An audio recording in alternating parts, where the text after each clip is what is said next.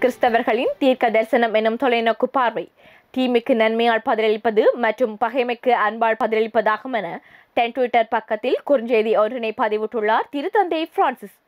முதலாம் திகதி கடந்த சனிக்கிழமை வெளியிட்டுள்ள இக்குறுஞ்செய்தியில் இவ்வாறு பதிவிட்டுள்ள திருத்தந்தை பிரான்சிஸ் அவர்கள் இறைவின் மேல் நாம் கொண்டுள்ள நம்பிக்கை நமது வாழ்வின் யதார்த்தத்தை நமக்குள்ளிருந்து மாற்றுகின்றது என்றும் எடுத்துரைத்துள்ளார்.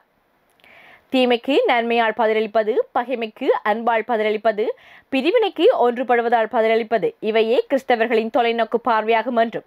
கிறிஸ்தவர்களாகிய நமது நம்பிக்கை நம் ஒவ்வொருவரின் யதார்த்தத்தையும் உள்ளிருந்து மாற்றுகின்றதென்றும் அக்குறுஞ்செய்தி வழியாக திருத்தந்தை வலியுறுத்தியுள்ளார்.